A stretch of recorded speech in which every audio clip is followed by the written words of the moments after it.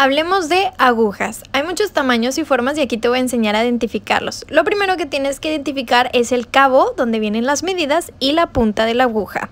Básicamente se dividen en dos grupos, los de punta redonda y las de punta filosa.